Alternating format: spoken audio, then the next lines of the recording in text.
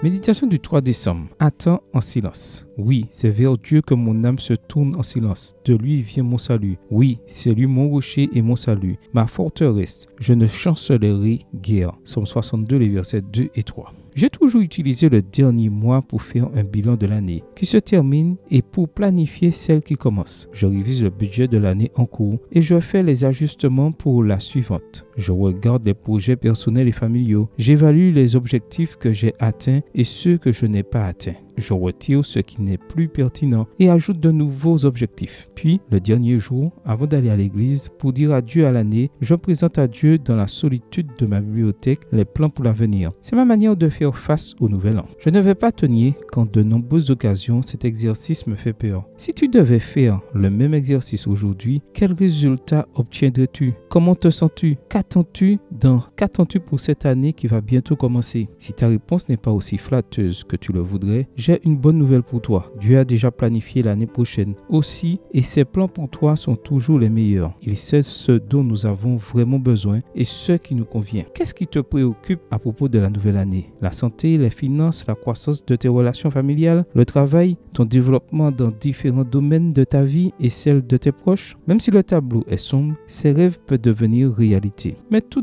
de là où tu placeras ta confiance. Je t'invite à méditer sur le passage d'aujourd'hui. Oui, c'est vers Dieu que mon âme se tourne en silence. De lui vient mon salut. Oui, c'est lui mon rocher et mon salut, ma forteresse. Je ne chancellerai guère. Sur Dieu repose mon salut et ma gloire. Le rocher de ma force, mon refuge est en Dieu. Confiez-vous en lui en tout temps, peuple, et penchez vos cœurs en sa présence. Dieu est notre refuge. Somme 62, les versets 2 à 9. Aujourd'hui est un bon jour pour t'asseoir et attendre en silence en de Dieu, pour contempler son visage et accepter ses plans pour ta vie. Arouba Jésus te dit, place toute ta confiance en mon nom et attends en silence devant moi et tu ne seras pas ébranlé. Amen. Bonne journée à toi et que le Seigneur te bénisse.